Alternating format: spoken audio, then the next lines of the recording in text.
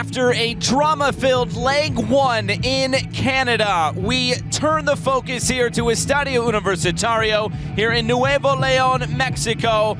It is Tigres taking on Vancouver Whitecaps. I'm Josh Eastern, glad to be with you here for this CONCACAF Champions Cup.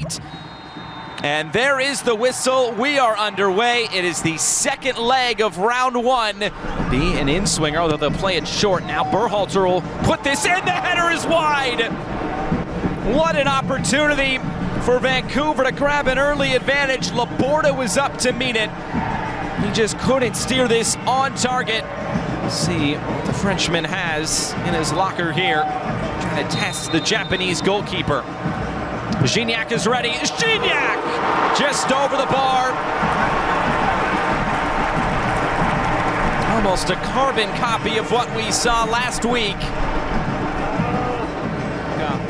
Garza. It's Gignac and Takaoka. Gonna watch this one sail out of play. So tough to get power on that header from Gignac. High lofted ball.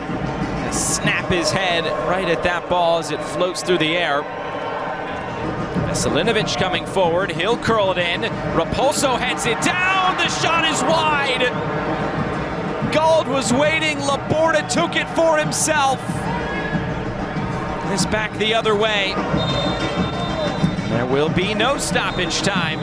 The first half has come and gone. We're three quarters of the way through this two-legged tie. Some good chances for either side. It's moved out wide. Plenty of options to pick out in the middle here.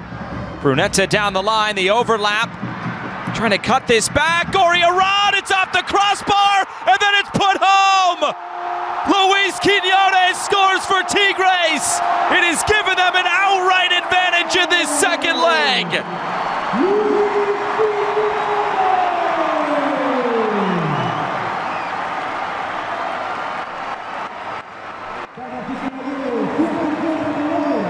Pretty much put this one to rest.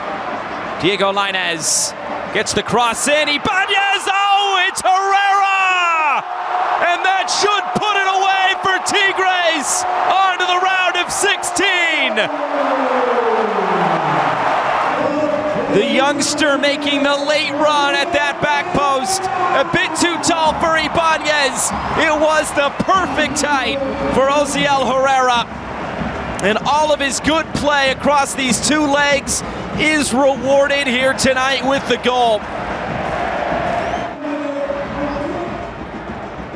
Slid forward again. This could be another one. Herrera tries to cut it back. He slips. He keeps it moving, and it's rolled home. It's three goals for Tigres.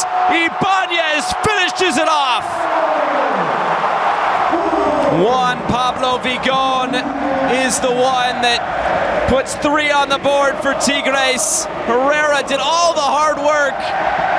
And then Vigon just able to keep his balance just enough.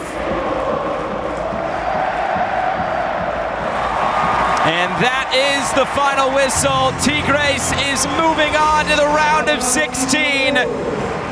They do the job on the night, and they do the job on aggregate as well. It was 1-1 coming in.